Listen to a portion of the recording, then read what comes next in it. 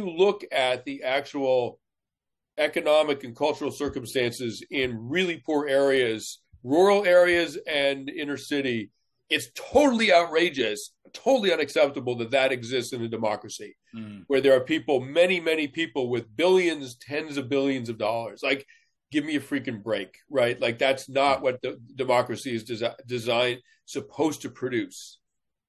This, this is why I love talking to you because we're getting into all of it. And I, I think I've talked to my wife and I've thought about this and talked about it. show. I do think that there there's kind of a crisis of pathways for many men in particular in this country, right? It's the rise of extremism, it's function of our politics, um, it's the suicide rate, it's it's a lot of other outcomes. And I think it starts so early with how, how boys grow up in public education. And I can see it in my son, where if he doesn't, you know, if he's not on the track, he's a problem.